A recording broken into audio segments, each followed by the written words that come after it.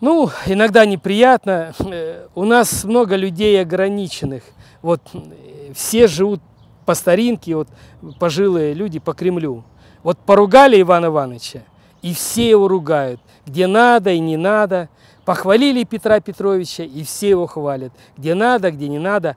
А в 90-х, когда вышла реклама, когда утопили МММ, а это по приказу Черномырдина Ельцина, они утопили МММ, э, ГКО открыли, и, чтобы раскрутить ГКО, а, вот они ругали МММ, мол, э, кому верить этим там Мавроди кому-то, вот Государственная лотерея, ГКО, тут вас не обманят. Если вы хотите быть богатыми, счастливыми, то несите деньги сюда. Вот.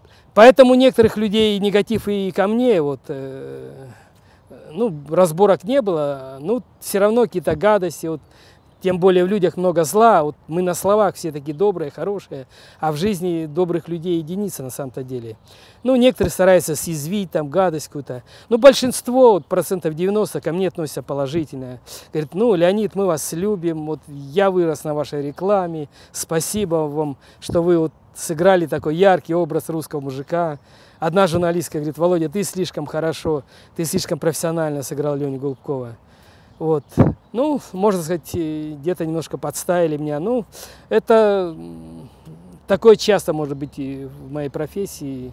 Вот актеры и, играют Гитлера, там еще э, каких-то пиночетов, там э, их там могут даже избить там или оскорбить на улице тоже.